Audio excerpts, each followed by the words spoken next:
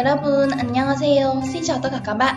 Một hôm trước chúng mình đã học bài 5 về từ vựng và ngữ pháp với chủ đề là gì? Pyonji đúng không? Và ngày hôm nay chúng mình sẽ cùng với nhau luyện tập phần nói và phần đọc nhé. Phần nói đầu tiên chúng mình sẽ có đoạn hội thoại giữa hai bạn với bối cảnh là cái tình huống là gì nhỉ? Một bạn muốn gửi đồ đi và hỏi người bạn còn lại của mình là gửi như thế nào và đặc điểm gửi của cái phương pháp đó. Để chúng mình cùng xem cái mẫu nhé.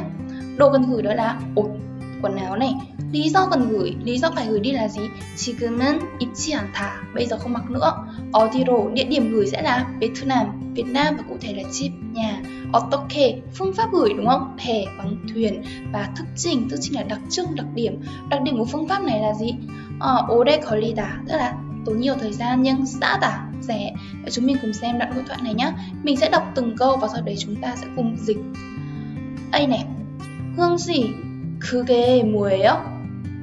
베트남에 보낼 거예요. 민준 씨, 이것을 어떻게 보내면 좋아요? 보낼 것이 뭐예요? 옷이에요. 지금은 입지 않은 옷을 집에 보내려고 해요.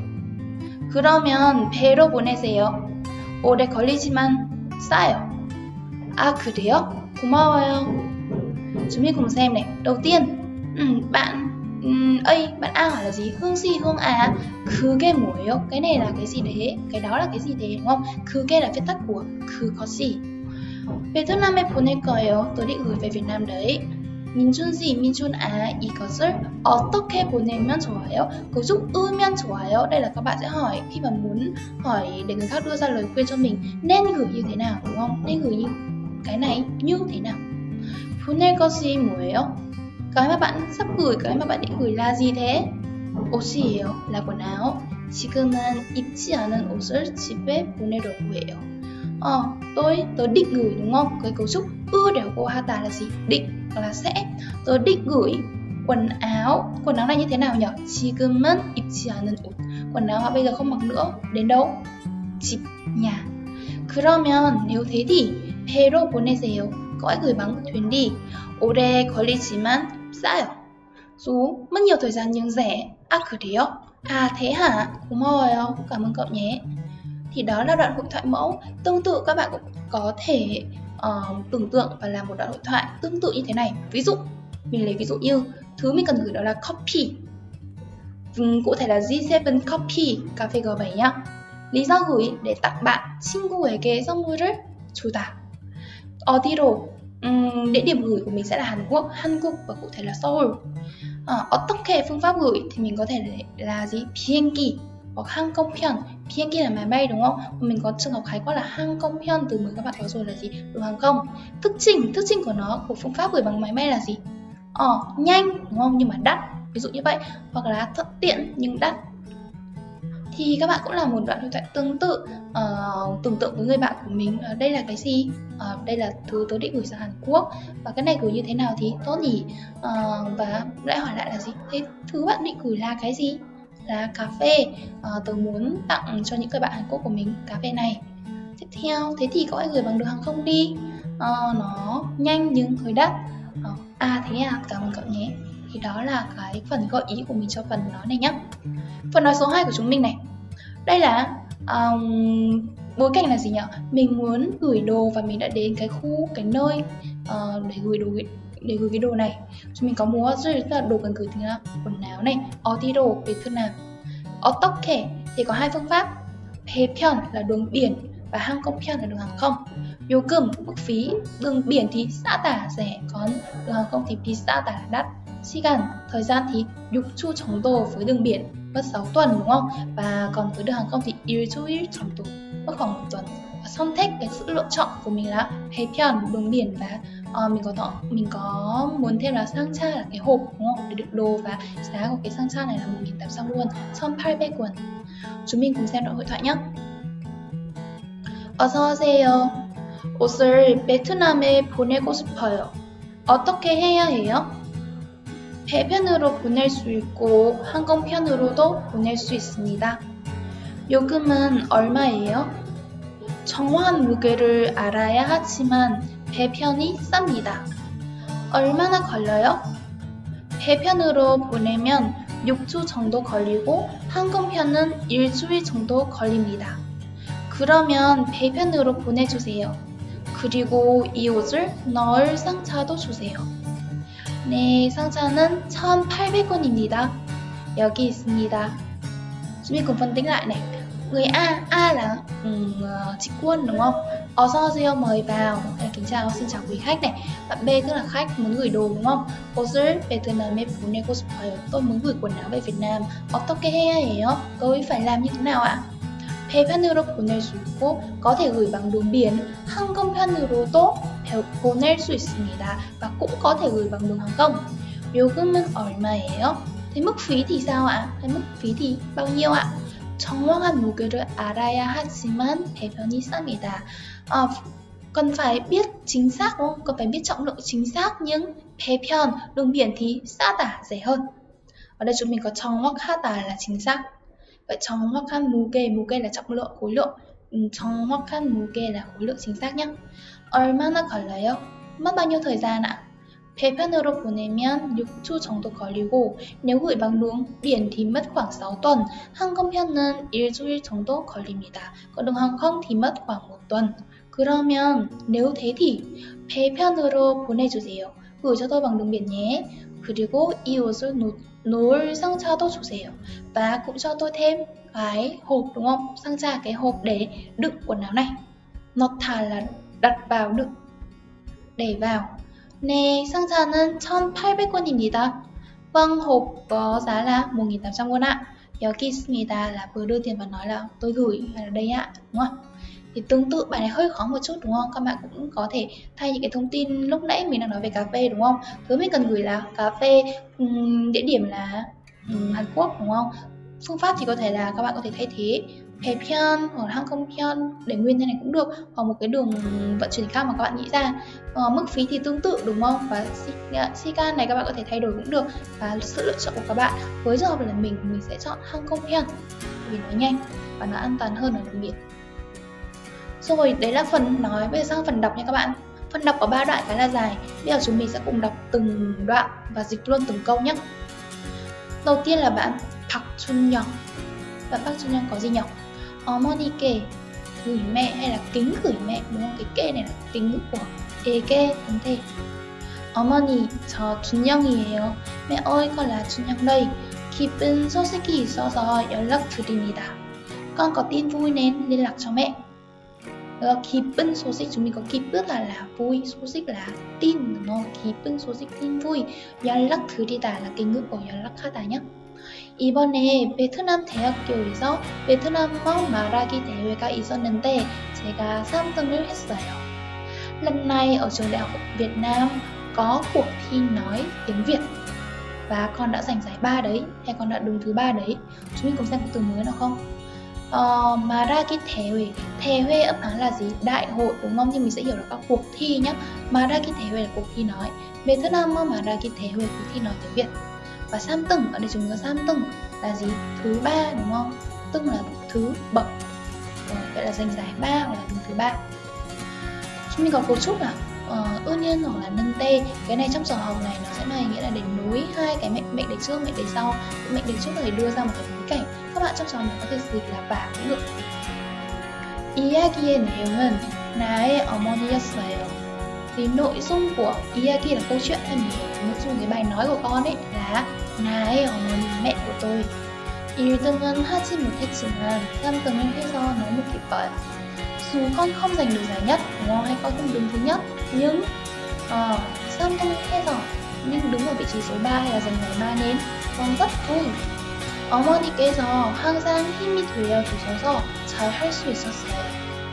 mẹ đúng không? chúng nữa đây là mẹ này. mẹ luôn luôn trở thành him sức mạnh của con 힘이 되다 cấu trúc 되다 là gì trở thành đúng không 항상 là luôn luôn ạ ờ, thuế chủ sở do thể hiện cái cấu trúc kết hợp cấu trúc là gì ao chủ tà và um, cái ngữ thôi 잘 할 수 있었어요 ờ, nhờ có mẹ luôn luôn trở thành sức mạnh của con nên con mới có thể làm tốt như vậy đúng không 어머니께 다시 한 다시 한번 감사드립니다 muốn nói cảm ơn mẹ 그리고 정말 사랑해요 um? Đây bạn Park Chun Young. Mình sẽ làm câu 1 luôn nhé. Park Chun Young 씨는 베트남에서 유학하고 있습니다. Đi du học ở Việt Nam mà trái lấy ạ.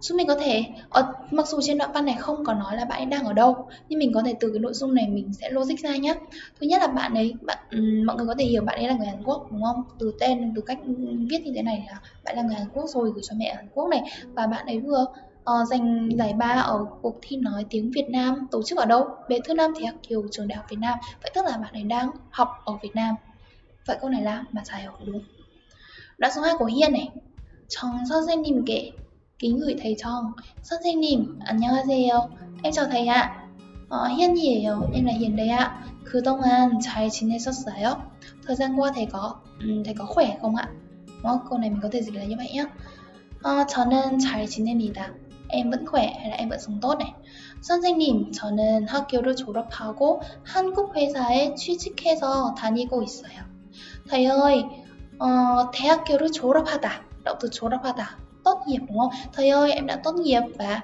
xin việc vào công ty Hàn Quốc và bây giờ đang đi làm rồi. Ở đây mình sẽ có ba vế này 저는 학교를 졸업하고 tốt nghiệp rồi nhá. 한국 회사에 취직해서 취직하다 là động từ xin việc. Xin việc ở đâu thì chúng mình sẽ có tiểu thủ là e nhé. 한국 회사에 취직하다 xin việc vào công ty Hàn Quốc và 다니고 있어요. động từ 다니다. bây giờ đang đi làm ở đó rồi đó. 그래서 선생님께 자주 연락을 못 들었습니다. Vì vậy nên em không thể thường xuyên liên lạc với thầy được. Ở đây cho mình có um, cấu trúc một, một cộng với động từ 죄송해요. em xin lỗi thầy.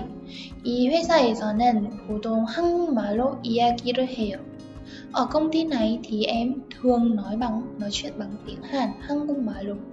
한국어를 말할 때 선생님을 생각합니다. mỗi khi đúng không hay là khi nói tiếng Hàn thì em đều nghĩ đến thầy 선생님을 생각하다 nghĩ đến nghĩ về 잘 가르쳐 주셔서 정말 고맙습니다 em thật sự hay là em chân thành cảm ơn thầy vì đã thầy đã dạy dỗ em 잘 가르치다 가르치다 là động từ dạy dỗ đúng không thì kết hợp với cấu trúc a o 주다 và kính ngữ 가르쳐 주셔서 cái 잘 thể hiện cái mức độ đúng không tốt có nghĩa là thầy tận tâm chỉ bảo em các bạn có thể dịch như vậy cũng được nhá tiếp theo 음, liên quan đến đoạn số 2 thì mình có câu 3 3번 희연 씨는 한국에 가면 정 선생님을 만날 계획입니다 đây là gì hiền có kế hoạch sẽ gặp thầy Chong nếu đến Hàn Quốc thì cái này các bạn thấy là trong đoạn văn này bạn ấy nói là cảm ơn đúng không gần đây không liên lạc được cho thầy xin lỗi thầy và cảm ơn thầy vì đã dạy dỗ bạn ấy để bạn ấy bây giờ có thể nói được tiếng Hàn để có thể xin việc vào công ty Hàn Quốc chứ không nói đến vấn đề là bạn ấy có sang Hàn hay không hay là sang Hàn thì bạn ấy có gặp thầy hay không đúng không? Vậy câu này là thư lời ạ 마지막으로 đoạn văn cuối cùng này 지훈 씨에게 gửi 지훈 đoạn này có bạn nam biết đúng không? 지훈 씨, 지훈 à 요즘 어떻게 지내요? Dạo này cậu sống thế nào?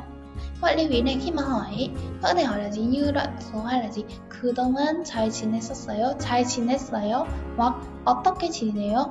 một cái thì hỏi là bạn có khỏe không bạn sống tốt không một cái là bạn đang sống như thế nào nó hơi khác nhau một chút nhưng các bạn đều có thể dùng hai câu này để khi mà hỏi uh, những người bạn hay là um, những người mình ít liên lạc đúng không 저는 여기 서울에서도 잘 지내고 6개월 동안 친구도 많이 사귀었어요. Tớ ở đây, ở đây là ở đâu? Seoul. Tớ ở Seoul cũng 잘 지내고, tốt và 6개월 동안 trong 6 tháng qua 친구도 많이 사귀었어요. 친구, 친구를 사귀다. Vậy 친구도 많이 사귀었어요 dịch là gì? Tớ cũng kết kết bạn được với rất nhiều người bạn đúng không? Hay tớ cũng làm quen được với rất nhiều người bạn. 지훈 씨, 지훈아, 저 대학교에 합격했어요. Tớ đã đỗ vào trường đại học rồi đấy. Chúng mình có 합격하다 là đỗ nhá. Đỗ vào đâu đấy? Đỗ vào đâu? thì cũng là e 합격하다. 제가 인천에서 한국어를 배울 때 많이 도와줘서 정말 고마워요. Ờ, khi đúng không? Ở đây 배울 때 khi học tiếng Hàn ở Incheon uh, hay các bạn có thể dịch từ cuối lên nó nó sẽ thuận nghĩa hơn này. Thật, um, tớ rất cảm ơn cậu đã giúp đỡ đã giúp tớ rất nhiều khi tớ học tiếng Hàn ở Incheon. các bạn dịch từ cuối lên cũng được nhé. 지훈 씨가 도와줘서 대학교에 합격할 수 있었어요. Nhờ có chi hun giúp nên tớ mới đỗ được vào trường đại học. 여기에 오시면 제가 한턱 낼게요. Nếu cậu đến đây thì tớ sẽ khao cậu. Chúng mình có 한턱 내다 là khao, chiêu đãi, mời. 여기 tức là đâu? Là Seoul nên đúng không? vậy câu 2 của um, đoạn đoạn 3 đúng không? Nam 씨는 인천에 있는 대학교를 다닙니다. Nam đang học đúng không? Đang học ở một trường ở trường đại học ở Incheon. 맞아요, 들려요? Có phải ở Incheon không mọi người? Không đúng không? Đang ở Seoul tại vì bạn nói là 여기 서울에서도 mà đúng không? Thì đây câu này là dài rồi. Và y người ở Incheon phải là bạn Chi Won này cơ. Thì đó là phần thứ nhất của bài đọc. Tương tự liên quan đến bài đọc này, từng đoạn từng đoạn một các bạn cũng sẽ đặt những câu uh, liên quan đến cái đoạn đấy nhá. Ví dụ như là gì? Uh, ví dụ liên quan đến đoạn thứ nhất Park Chun Young thì các bạn có thể có những câu như thế nào? Uh, ví dụ như Park 왜 박준영 씨가 어머니에게 hoặc là 어머니께 연락 들었어요? Tại sao Park Chun Young lại liên lạc cho mẹ? đúng không? hay là uh, 말하기 대회에서 박준영 씨가 몇 등을 했어요? 몇 등 đứng thứ mấy đúng không? Trong cuộc thi nói um, tiếng Việt thì bạn Xuân Young đã đứng thứ mấy vân vân thì đấy là những gợi ý liên quan đến đoạn này các bạn có thể đưa ra rất nhiều câu hỏi tự hỏi tự trả lời để luyện phản xạ nhé tiếp theo phần đọc cuối cùng của mình đây là bạn thấy các bạn thấy đây là một cái tấm nhọc so đúng không bưu thiếp cho mình có này 정우 씨에게 gửi cho ngu 정우 씨 안녕하세요 hương 청우가 là hương đây 그동안 잘 지냈지요 đúng không 그동안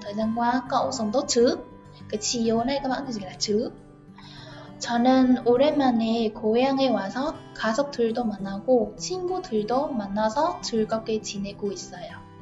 rất lâu rồi tớ mới về quê đúng không? 오랜만에 là rất lâu rồi. Ờ, rất lâu rồi tớ về quê và gặp 가족들도 만나고 cũng gặp gia đình và gặp ai nữa? 친구들도 gặp gia đình và bạn bè nên 즐겁게 지내고 있어요. Ờ, thì là tớ đang sống rất là vui vẻ đúng không? 그리고 이번 달에는 가족들과 가족 여행을 갈 계획입니다. Và 이번 달, tháng này tớ cũng có kế hoạch sẽ đi du lịch với gia đình đúng không? Sẽ có kế hoạch là đi du lịch gia đình cùng với gia đình của mình. 가족들과 rồi tiếp theo 이 엽서 뒤에 이 엽서 뒤에 있는 사진은 제가 여행 갈 나트랑이에요. à, cái bức ảnh đúng không ở đây danh từ chính chủ ngữ là sa chìn cái bức ảnh còn phần đằng trước ấy định ngữ cho bức ảnh này bức ảnh ở phía sau của tấm bưu thiếp này là Natrang là Nha Trang và cái phần uh, chề gai yeo khai này là lại là định ngữ cho Nha Trang uh, bức ảnh ở đằng sau tấm tấm thiệp này là Nha Trang nơi mà tớ sắp đi du lịch đấy được chưa yeo khai định ngữ vào tương lai 여기는 베트남의 남쪽에 있는 곳인데 아주 아름다운 곳이에요 lại là những lại là câu có nhiều định ngữ đúng không à, đây là đúng không 여기는 đây là nơi của đây là nơi nằm ở phía nam của Việt Nam về thứ năm miền Nam 쪽에 있는 và là nơi rất đẹp 아주 아름다운 các bạn thấy người Hàn Quốc sử dụng định ngữ rất nhiều cho nên các bạn cũng sẽ cố gắng trong từ giờ trong câu văn của mình các bạn sẽ dùng những câu định ngữ thế này nhé 다음에 베트남에 오면 꼭 가세요 lần sau nếu đến Việt Nam thì cậu nhất định hãy đi nhé 꼭 가세요 꼭 là nhất định 여기 베트남은 지금 아주 덥습니다. ở Việt Nam thì bây giờ rất nóng. 한국은 겨울이니까 아주 추울 것 같아요. ở Hàn Quốc đang là mùa đông nên chắc là sẽ lạnh lắm đúng không? 아주 추울 것 같아요. cấu trúc 으릴 것 같다 là gì? chắc là có lẽ. 정우, 정우 씨, 감기 조심하세요. 정우아, cậu cẩn thận kẻo bị cảm đấy. 조심하다 là cẩn thận. 2월 말이 되면 한국으로 돌아가겠습니다. Đến tháng đến cuối tháng 2 đúng không? 2월 là tháng 2, 말 là tháng cuối này. Bạn nhớ 주말 không? Cuối tuần ấy thì 2월 말 là cuối tháng 2 nhá. Cuối đến cuối tháng 2 tớ sẽ quay lại Hàn Quốc. 개강하면 만납시다. Khi khai giảng, 개강하다 là khai giảng. Mình gặp nhau khi khai giảng nhé. 안녕히 계세요. chào cậu và 2011년 1월 20일 ngày 20 tháng 1 năm 2011 và 보내는 사람 người gửi là Hương về Vietnam Vũng Tàu giờ ờ, gửi từ đâu nhỉ Vũng Tàu Việt Nam đúng không còn 받는 사람 là người nhận Chue Trong Mu Quỳ là bạn Chue Trong Mu ờ, và dưới này là địa chỉ của Chue Trong Mu thôi nào 1번 Hương có kế hoạch sẽ làm gì ở Việt Nam ấy 고향 친구들을 만날 거예요 sẽ gặp những người bạn ở quê à, đây là bạn ấy đã gặp rồi đúng không đã gặp rồi cho nên chúng ta sẽ không nói đây là kế hoạch được B này 가족들과 여행을 갈 거예요 sẽ cùng với gia đình đi du lịch 맞는 것 같아요 có lẽ là đúng không có vẻ đúng mình sẽ đọc nốt câu C để um, xác nhận nhé 한국에 갈 계획을 세울 거예요 sẽ lên kế hoạch để um, lên kế hoạch đi Hàn Quốc chúng có 계획을 세우다 là lên kế hoạch vậy cái này có đúng không nhỉ sai đúng không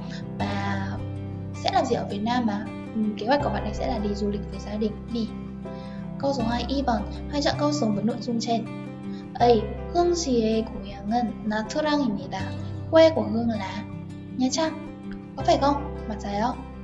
틀리죠 là sai đúng không? Tại vì ở đây trên cái dọc so này người ta đã viết là 베트남 Nam Phùng Thảo ý do tức là gửi từ Vũng Tàu Việt Nam vậy quê của bạn ấy phải là Vũng Tàu cơ B này 2월에 베트남은 아주 덥습니다 Ờ, Việt Nam cuối Việt Nam vào tháng 1 thì 아주 덥다 rất là nóng vậy mình cùng xem này ở đây bạn ấy còn nói là gì 어, 지금은 여기 베트남은 지금 아주 덥습니다. Bây giờ ở Việt Nam rất nóng và thời gian bạn ấy biết là ngày 20 tháng 1 năm 2011 đúng là tháng 1 rồi đúng không? Vậy đi là đúng. C. 정우 씨는 흥 씨와 함께 나트랑에 갔습니다. 정우 đã cùng với Hương đến Nha Trang. 맞아요? chơi lẩy tất nhiên là sai rồi, tại vì sao? Bạn hương ờ, bạn hương ngày đi du lịch, sẽ đi du lịch với gia đình và ờ, bạn ấy chỉ nói với bạn trong là lần sau nếu đến Việt Nam thì cậu nhất định hãy đi nhé, hãy thử đi nhé, đúng không? Vậy đáp án của mình câu 2 vẫn là B. Và ok, vừa rồi chúng mình đã cùng với nhau học xong phần luyện tập, nói và đọc và các bạn nhớ làm thêm bài luyện tập nghe và viết nhé. Đồng thời hãy đặt những câu hỏi liên quan đến đoạn hội thoại đến đoạn văn này. Được chưa nhỉ Ờ, hẹn gặp lại các bạn vào bài sau nhé. Thân nhanh.